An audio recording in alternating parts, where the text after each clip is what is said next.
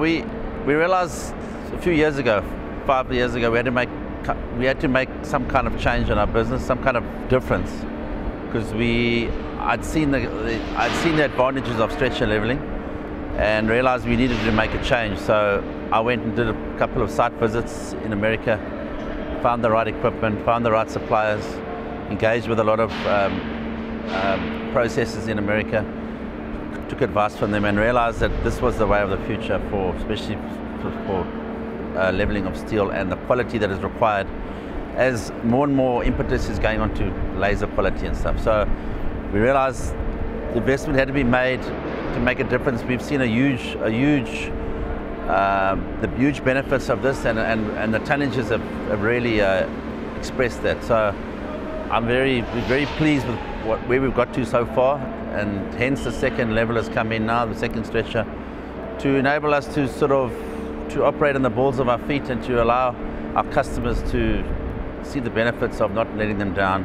Sometimes we have issues with, you know, you can have a breakdown um, and, and, getting around things like that. We've done that. So the benefits have been huge. Um, so yeah, we're, we're, very positive going forward. A couple of years back, this whole belt, which is the Meyerton belt, had no industry at all.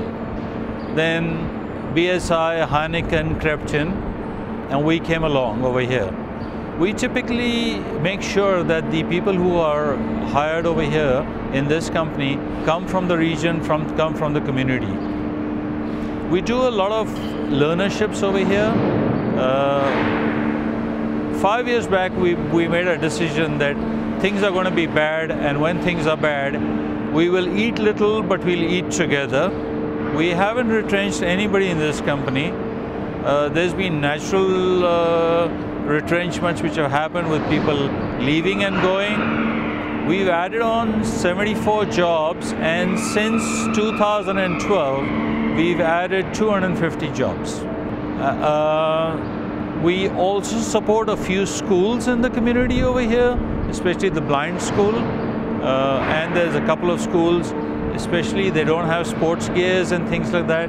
So typically amount of 50 to 100,000 every year per school is what we give and then we go and monitor and see whether it's been used in the proper manner or not.